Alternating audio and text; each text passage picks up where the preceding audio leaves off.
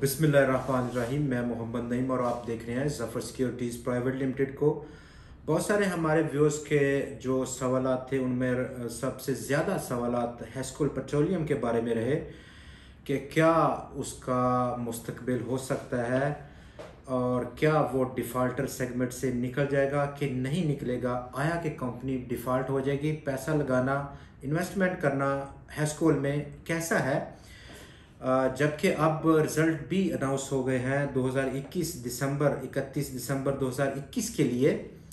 और पहली बार company profit में आई है 2018 के। और दूसरी तरफ़ स्टॉक में पहली बार ब्रेकआउट देखा गया 2018 नवंबर के बाद।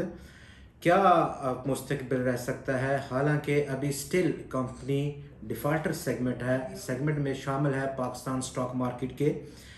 जो वजूहत रही, उस पर हल्की सी बात करेंगे कि क्यों डिफ़ाल्टर सेगमेंट में है हैस्कोल पेट्रोलियम हैस्कोल पेट्रोलियम जो कि दूसरी बड़ी पाकिस्तान की लार्जेस्ट कंपनी है रिटेल में ऑयल मार्केटिंग एलपीजी और दूसरी पेट्रोलियम प्रोडक्ट्स के हवाले से बहुत मुश्किल का सामना रहा। 60 अरब रुपए का जो उसका लोन था, मुख्तलिफ़ बैंकों से जब वो डिफ़ॉल्ट कर गया 2019 में उस पर तो वर्किंग कैपिटल को हासिल करने में बहुत दुशारी रही।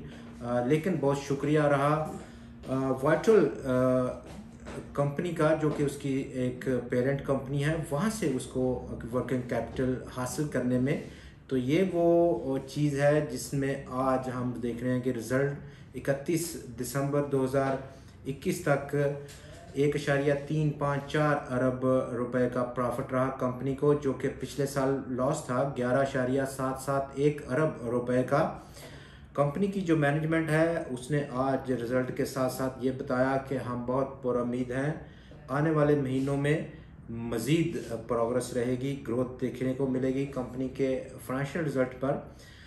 तो डिफ़ाल्टर का जो काउंटर है, उसकी वजूहत एनुअल जनरल मीटिंग को होल्ड ना करना 2020 में कंपनी का और साथ साथ एनुअल जो ऑडिटेड अकाउंट्स थे, उनका पब्लिश ना करना, ये वो दो वजूहत थी जिनकी बिना पर पाकिस्तान स्टॉक मार्केट ने कंपनी को डिफ़ाल्टर काउंटर पर शिफ्ट कर दिया। अब रिज़ल्ट तो उसने अनाउंस कर दिए, सिर्फ़ एनुअल जनरल मीटिंग यानी कि एजीएम का होल्ड करना बाकी रह गया है। चूँकि बोर्ड इस वक्त टोटल फंक्शनल है कंपनी का एच होल्ड करना बहुत बड़ा कोई इतना इशू नहीं है।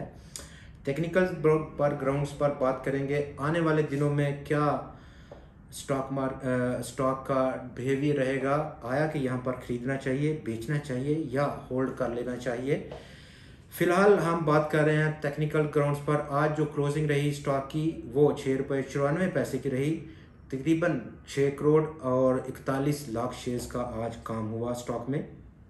और 2018 नवंबर के बाद से स्टॉक ने अपनी लॉन्ग टर्म की जो रेजिस्टेंस है, उसको ब्रीच किया। पिछ, पिछले हफ़्ते जो कि पाँच रुपये अट्ठावन पैसे की थी उसको ब्रीच किया है। इतने सालों के बाद अब अगला कदम क्या होगा? फिलवक्त स्टॉक में जो इस वक्त स्ट्रैटेजी रहेगी, वो आठ रुपये का रेजिस्टेंस है।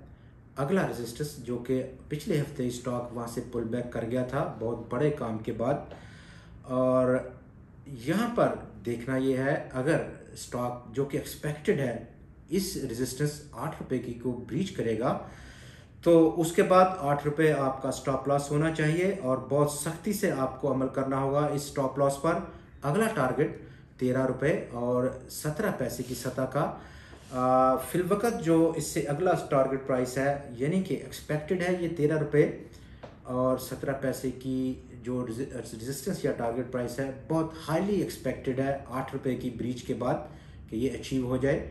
और एक्चुअल जो इस रैली का टारगेट प्राइस या रेजिस्टेंस रहेगी, वो सोलह रुपये के आसपास हो सकती है।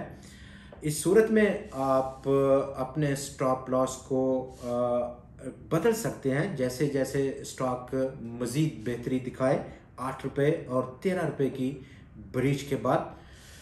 बहुत शुक्रिया आपका। खुदा हाफिज़।